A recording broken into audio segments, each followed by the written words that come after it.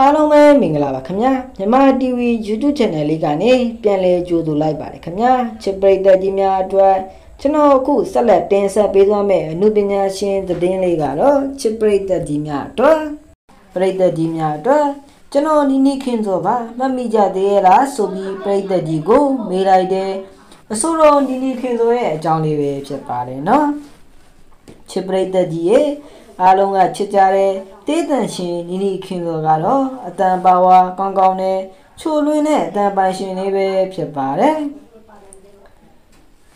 နီနီကတချင်းမြတ်စွာရေးဆက်တီးဆိုခဲ့ပြီးပြိတ္တတွေကြားအရန်အောင်မြင်ခဲ့တဲ့အဆိုတော်တစ်ယောက်ပဲဖြစ်ပါတယ်ဂီတာစုတွေများစွာကိုလည်းရရှိထားသူပဲဖြစ်ပါတယ် ခုဆိုနီနီကရင်ကားနဲ့မတူယောက်ျားလေးပုံစံစပင်ကီတိုလေးနဲ့ယောက်ျားပြီးသားပြီးချုံးမော့တဲ့ပုံရိပ်တွေကိုချပြလာပြီးသူ့ကိုမှတ်မိကြသေးလားလို့မေးလာခဲ့တာပဲဖြစ်ပါတယ်နော်